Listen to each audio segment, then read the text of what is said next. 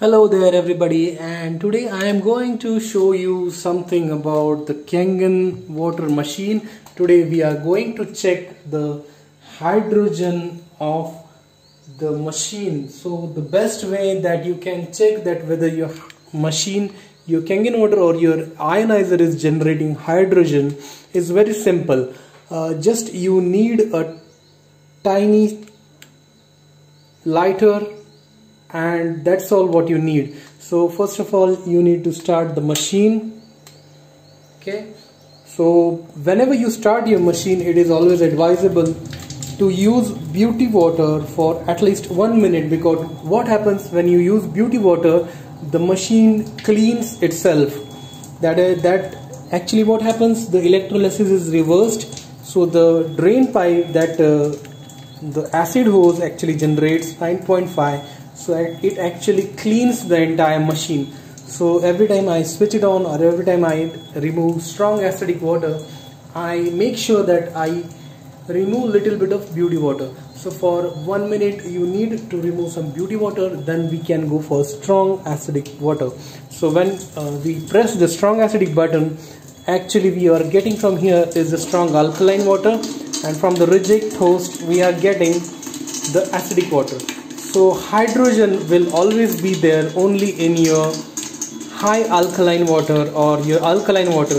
The hydrogen will not be there in your reject water or the acidic water. So what you have to do just have to take the lighter and start lighting the water. So you'll be hearing some pop and some flashes. So I'll show you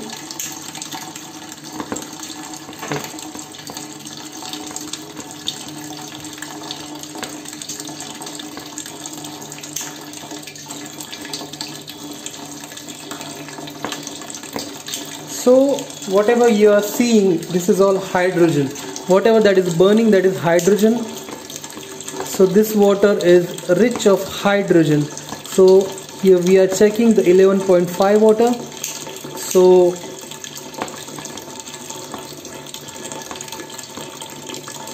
the popping of the water that means the little little blasts that are happening that are due to the hydrogen.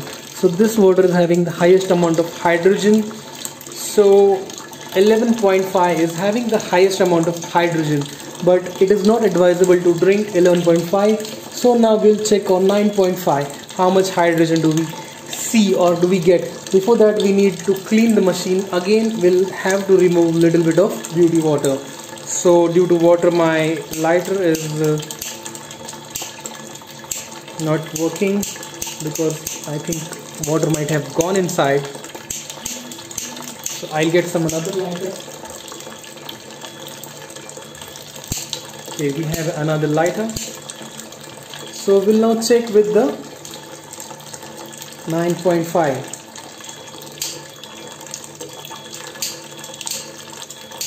sorry this is not 9.5 okay so here we go for 9.5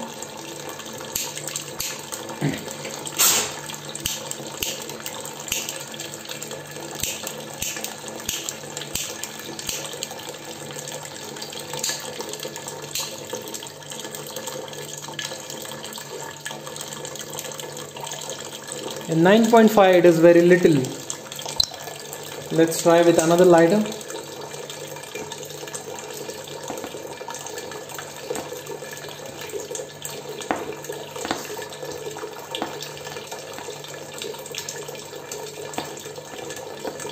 So this is 9.5 and it is popping to a good extent. So now we'll go for 8.5 to check whether we get some amount of hydrogen. So I'll change it to 8.5 so let's see do we get a hydrogen in 8.5 water?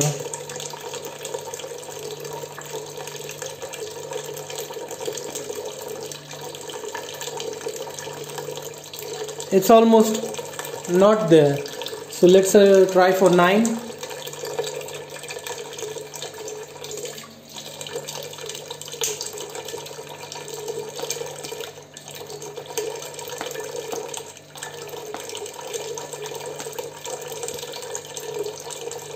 so for 9 we are hearing some popping sound but 9.5 we have a good amount of hydrogen.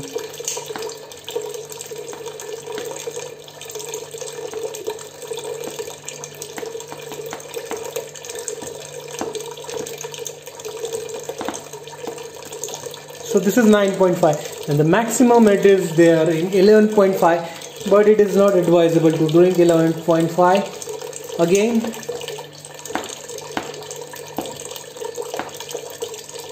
for demonstration purpose you can to show the hydrogen you can use 11.5 to show the popping. But for drinking also you are getting enough hydrogen in 9.5 so it is advisable to drink 9.5 so friends I hope this little experiment has shown you that yes this is a three plate machine. This is the Kangen Leveluk Junior machine. And I have put a cover. This is the Leveluk Junior machine. So this is giving good amount of hydrogen. Even with a three plate model you can have good amount of hydrogen. Just you need to keep the machine clean the plates clean. Always clean your machine. At least once a month with citric acid so you'll get good amount of hydrogen. Thank you friends. Thanks for watching. And please subscribe. Please share this video and give me a thumbs up if you like it. Thank you very much. Take care. Bye bye good day